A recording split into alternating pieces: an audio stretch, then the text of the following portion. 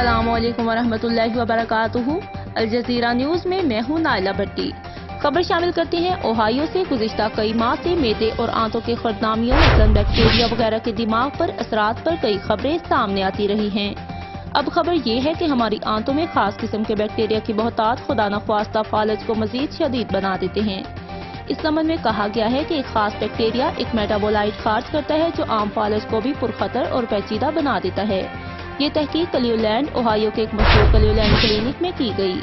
इसमें कहा गया है कि खास मेटाबोलाइट या तो फालज को बढ़ावा देता है या फिर मुतासर शख्स की बहाली पर असरअंदाज होता है।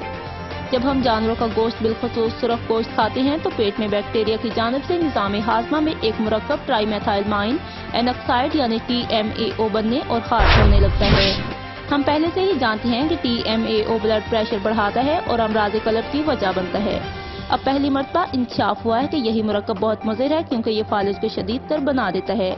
इसके लिए दो अफराद के फसले को टेस्ट किया गया। इनमें से पहले टी एम ए की जायद और कम मकदार वाले नमूने शनाख्त किए गए।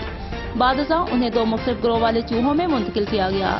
इस तरह एक चूहे में टी एम ए की मकदार बहुत ज़्यादा और दूसरे में बहुत कम थी।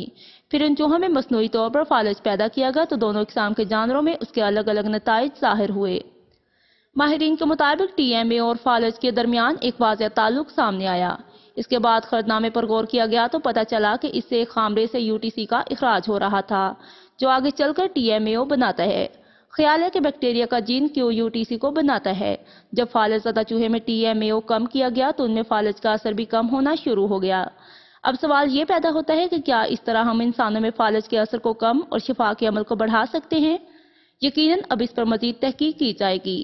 लेकिन इससे पहले क्यों यूटीसी को और दीगर अवामल पर तहकीक करना होगी